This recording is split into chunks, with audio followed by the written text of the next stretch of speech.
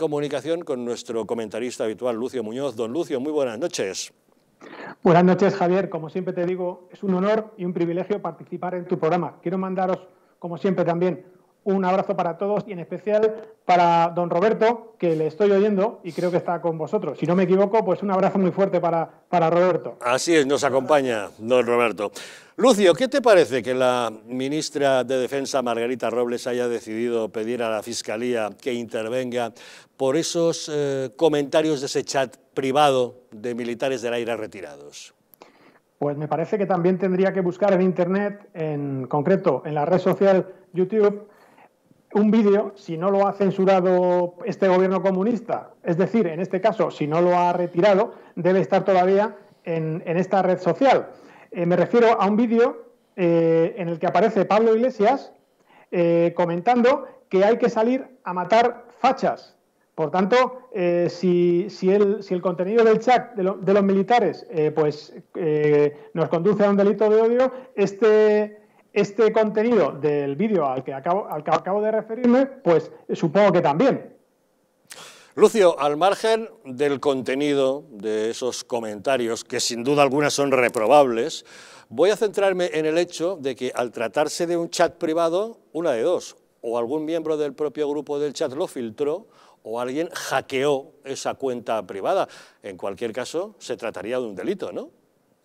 Sí, por supuesto. Lo, que ocurre es que en este caso no, podríamos dilucidar eh, qué, es lo que ha ocurrido. Tendríamos que, esperar un tiempo eh, para, saberlo, pero efectivamente no caben, no caben, no caben otras opciones. Lo, que está claro es, yo no sé si, si, este es el sentimiento general de las Fuerzas Armadas, pero creo que, creo que, creo que sí, sin llegar, sin llegar a extremos violentos, creo que sí es el sentimiento no solo de las Fuerzas Armadas, sino de más de la mitad de, España, puesto que este gobierno asesino y comunista ha declarado la guerra a nuestro país y quiere destruir nuestro país. Podemos determinar ya, sin, lugar a equivocarnos, que España se ha convertido en un Estado fallido. Y el, gobierno está eh, mm, atentando contra, contra todos los españoles y ejecutando golpes de Estados eh, cada, cada semana o digamos incluso cada día. Es un golpe de Estado continuo y progresivo conformado por pequeños golpes de Estado semanales y todo ello eh, pues eh, conducente a acabar con la democracia, con el, sistema de libertades creado en España, aunque sea imperfecto, con la monarquía, ilegalizar la oposición, convertir la Constitución en papel mojado y, por supuesto, acabar con la independencia, con la poca independencia judicial que queda y con el Estado de Derecho. Esto es lo que pretende el gobierno y este chat de militares retirados, pues eh, un poco de manera ofuscada, pues lo han querido retratar de esta manera. Lucio, olvidándonos del chat, que por supuesto yo lo repruebo absolutamente porque no me parece bien los llamamientos a la violencia o al odio, ya sea que lo hagan los militares o que lo haga Irene Montero en su Twitter o que lo haga Pablo Iglesias diciendo que azotaría a una periodista a sangrar o que hay que salir a impartir la justicia proletaria a nadie. Eso es absolutamente reprobable, hacer llamamientos a la violencia y al odio. Pero al margen del chat, el hecho de que un grupo de militares del ejército de tierra y un grupo de militares del ejército del aire escriban cartas al rey para trasladarse su preocupación por la situación que va a España, ¿eso es criticable?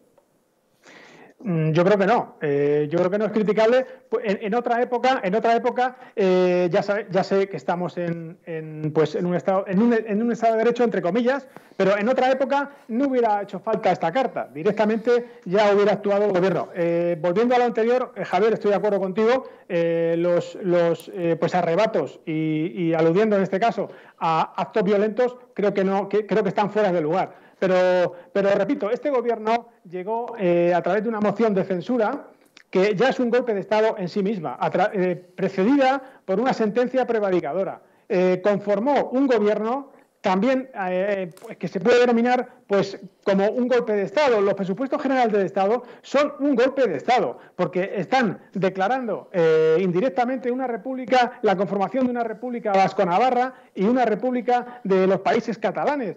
Eh, la ley CELA es un golpe de Estado porque quiere destruir al, castellano, la lengua común de todos los españoles. Eh, la nueva proposición no de ley que, ya han presentado los socios asesinos del gobierno, eh, intentando arrinconar el castellano en la administración para que prevalezca las lenguas oficiales y los, y los empleados públicos y los funcionarios deban atender a los, a los ciudadanos, a los administrados en las lenguas cooficiales, es un golpe de Estado en sí mismo. Estamos asistiendo a un golpe de Estado continuo y los militares, pues evidentemente, están mostrando su preocupación al rey.